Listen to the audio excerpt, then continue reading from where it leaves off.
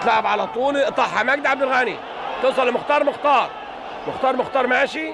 تتلعب لزكريا نصر برجل مين جدا وجول الجول الأول للنادي الأهلي. جول جول. الجول الأول للنادي الأهلي.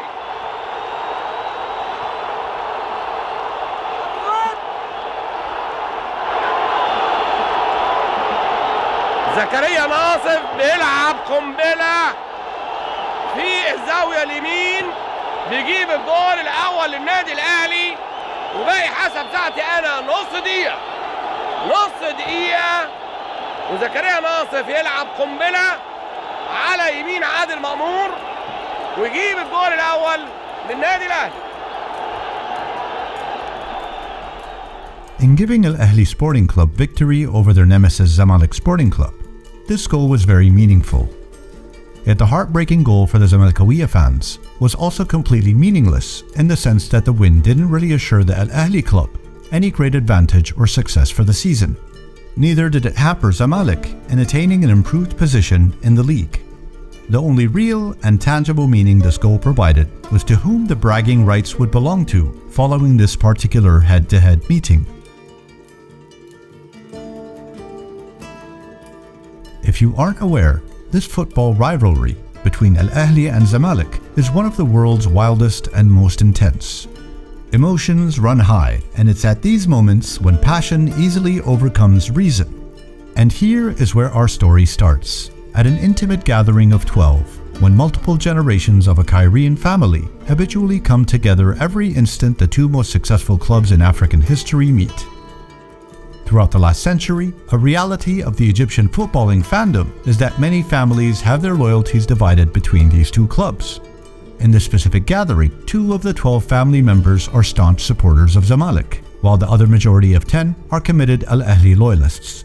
All supporters, young and old, followed on attentively with this engaging and dramatic roller coaster of an event. Upon the final whistle by the Italian referee, bragging rights were secured by the 10 Ahlawiya fans.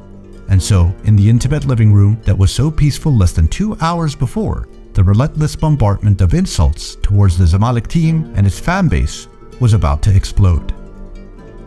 This match, though, was slightly different. The drama, as it had unfolded throughout the game, and the way in which victory was snatched, infused so much raw emotion, stress, and tension for all those enduring its events. It was dead even, score-wise, till the very last second. A neutral result would have postponed any bragging rights and resultant emotional damage for many weeks. But it was not meant to be, and those who were victorious needed an immediate outlet to vent. From the victor's perspective, it was now absolutely acceptable to rip apart their rivals, as had been done onto them in the past, when it was their turn to experience gut-wrenching loss. Without any show of respect, endless demeaning words would echo throughout the living room. No manners were left unbroken, regardless of age and elderly status. The losing fans were taking it hard, enduring animosity and rudeness, ridiculed in front of other family members. It was acceptable to behave so uncompassionately by the victors. Yes, for the winning fans it was justifiable, until it wasn't any longer. The elder of the two Zamalek fans stood up, tall and proud, and stated, Enough! This has gone on beyond any form of disrespect. We are being humiliated in what I used to consider a house like my own. We are leaving.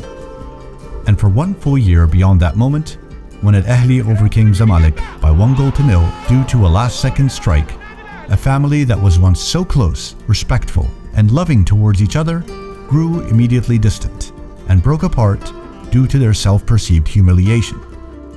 This connection would be total.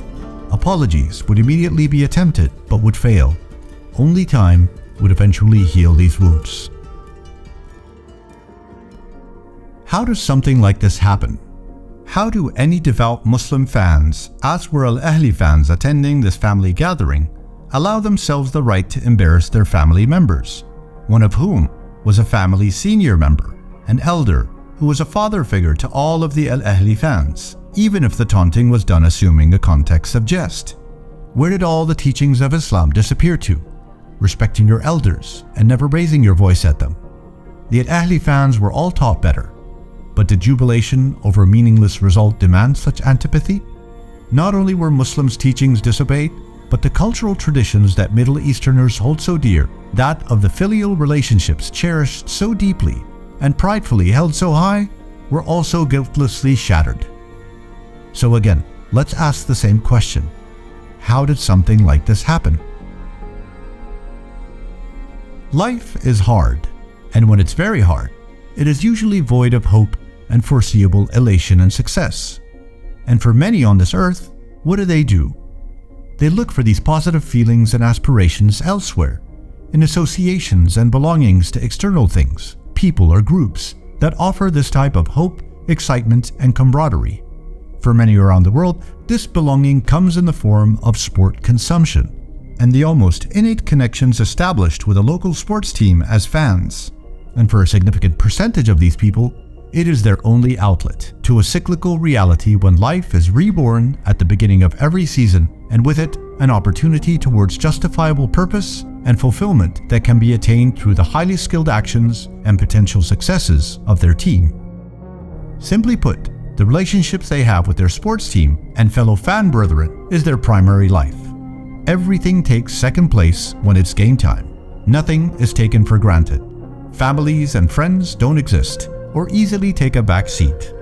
Only the allegiance and absolute loyalty to their club or team is real. All actions and existence outside the sporting experience strictly serves the purpose of being able to live life fully as a numbed sports fan. No family member, not even an elder, could avoid the wrath of such a victorious rival. It is very disconcerting that this phenomenon exists at such a grand scale. It is further troubling when we see this behavior as common and acceptable in the Middle East, when loyalties to a team and its supporter base trump the deeper connections of family and religious edicts or traditions. Sport is fun. Sport is also business. But sport is definitely not life. That is the real disconnect that has haunted us over the last 60 years, and one that we still see today when fans lose their humanity when confronting an opposing fanbase, triggered by a concoction of familiarity and hatred. Unfortunately, as much as it is about how parents wrongfully condition their children to hold certain antagonistic beliefs and sentiments from an early age, it is also the culture that is promoted by the clubs themselves that condones such behavior.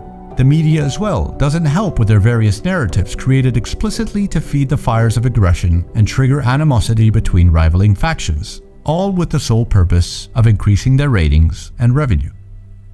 So what do we do? How do we overcome the exhilarated sentiments that lead to cold-hearted, demeaning words projected at our defeated enemy? How do we stay human by separating what happens during wins and losses, and upon the referees announcing the end of the game, we consciously go back to who we are, decent and well-mannered human beings. The bottom line is, Empathy is a gift we owe each other.